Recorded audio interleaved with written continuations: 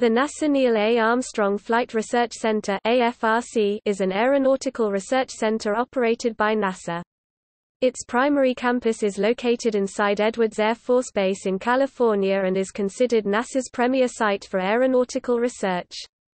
AFRC operates some of the most advanced aircraft in the world and is known for many aviation firsts, including critical support for the first manned airplane to exceed the speed of sound in level flight with the Bell X-1, highest speed ever recorded by a manned, powered aircraft North American X-15, the first pure digital fly-by-wire aircraft F-8D FBW, and many others. AFRC also operates a second site in Palmdale, CA, known as Building 703, once the former Rockwell International, North American Aircraft Production Facility, at Air Force Plant 42. There, AFRC houses and operates several of NASA's Science Mission Directorate aircraft including SOFIA Stratospheric Observatory for Infrared Astronomy, a DC-8 flying laboratory, a Gulfstream C-20A UAV SAR and ER-2 high-altitude platform. David McBride is currently the center's director. On March 1, 2014, the facility was renamed in honor of Neil Armstrong, a former test pilot at the center and the first human being to walk on the surface of the Moon. The center was previously known as the Dryden Flight Research Center (DFRC) from March 26, 1976, in honor of Hugh L. Dryden, a prominent aeronautical engineer who at the time of his death in 1965 was NASA's deputy administrator. It has also previously been known as the National Advisory Committee for Aeronautics Muroc Flight Test Unit 1946, the NACA High Speed Flight Research Station 1949, the NACA High Speed Flight Station 1954, the NASA High Speed Flight Station 1958, and the NASA Flight Research Center 1959.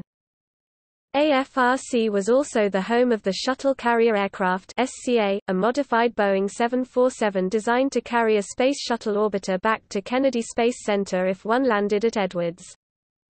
Until 2004, Armstrong Flight Research Center operated the oldest B-52 Stratofortress bomber, a B-52B model tail number 008 which had been converted to drop test aircraft, dubbed Balls 8. It dropped a large number of supersonic test vehicles, ranging from the X-15 to its last research program, the hypersonic X-43A, powered by a Pegasus rocket. The aircraft was retired and is currently on display near the north gate of Edwards.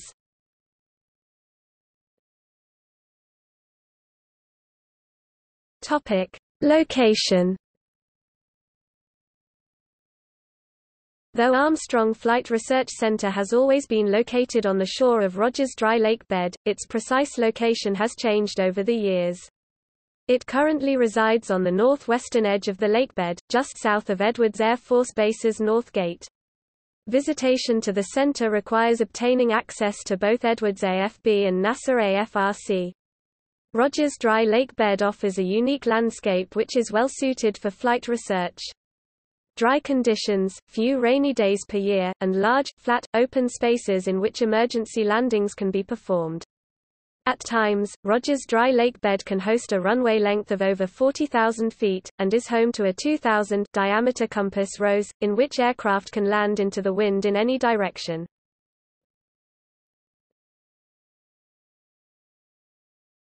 Topic: List of current projects. X56 X57 X59 Quest. Dream Chaser. UAS in the NAS TGALS Topic: Historic projects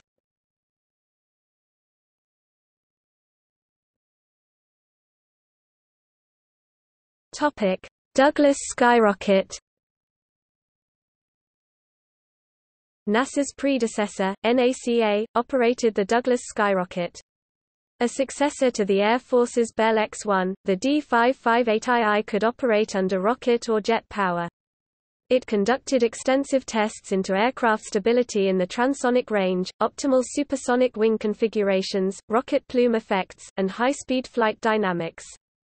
On November 20, 1953, the Douglas Skyrocket became the first aircraft to fly at over twice the speed of sound when it attained a speed of Mach 2.005. Like the X-1, the D558II could be air-launched using a B-29 Superfortress. Unlike the X-1, the Skyrocket could also take off from a runway with the help of JATO units.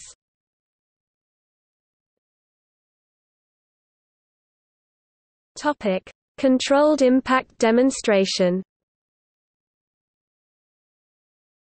The Controlled Impact Demonstration was a joint project with the Federal Aviation Administration to research a new jet fuel that would decrease the damage due to fire in the crash of a large airliner. On December 1, 1984, a remotely piloted Boeing 720 aircraft was flown into specially built wing openers which tore the wings open, fuel spraying everywhere. Despite the new fuel additive, the resulting fireball was huge, the fire still took an hour to fully extinguish. Even though the fuel additive did not prevent a fire, the research was not a complete failure. The additive still prevented the combustion of some fuel which flowed over the fuselage of the aircraft, and served to cool it, similar to how a conventional rocket engine cools its nozzle. Also, instrumented crash test dummies were in the airplane for the impact, and provided valuable research into other aspects of crash survivability for the occupants.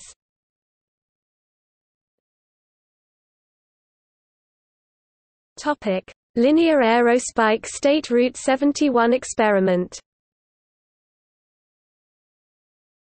LASRE was a NASA experiment in cooperation with Lockheed Martin to study a reusable launch vehicle design based on a linear aerospike rocket engine. The experiment's goal was to provide in-flight data to help Lockheed Martin validate the computational predictive tools they developed to design the craft. LASRE was a small, half-span model of a lifting body with eight thrust cells of an aerospike engine. The experiment, mounted on the back of an SR-71 Blackbird aircraft, operated like a kind of flying wind tunnel. The experiment focused on determining how a reusable launch vehicle's engine plume would affect the aerodynamics of its lifting body shape at specific altitudes and speeds reaching approximately 750 miles per hour, 340 meters per second.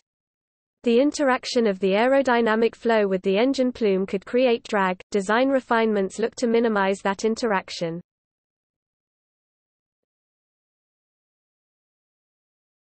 Topic: Lunar Landing Research Vehicle The Lunar Landing Research Vehicle or LLRV was an Apollo Project-era program to build a simulator for the Moon landing. The LLRVs, humorously referred to as flying bedsteads, were used by the FRC, now known as the Armstrong Flight Research Center, at Edwards Air Force Base, Calif, to study and analyze piloting techniques needed to fly and land the Apollo lunar module in the Moon's airless environment.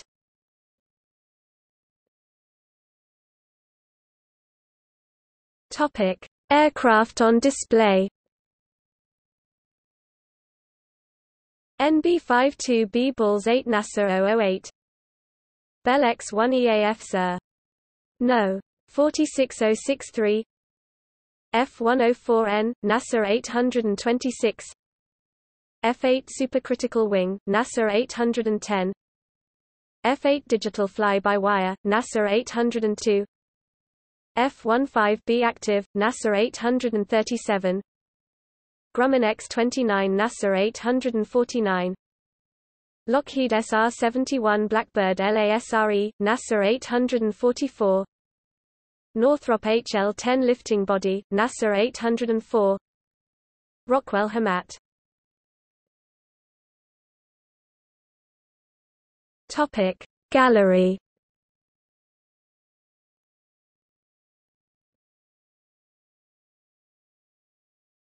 Topic Notable employees Neil Armstrong Marta Bohn-Meyer Bill Dana C. Gordon Fullerton David Hedgley Bruce Peterson R. Dale Reed David Scott Milt Thompson Topic See also Gromov Flight Research Institute, the Russia counterpart of the Armstrong Flight Research Center. List of aerospace flight test centers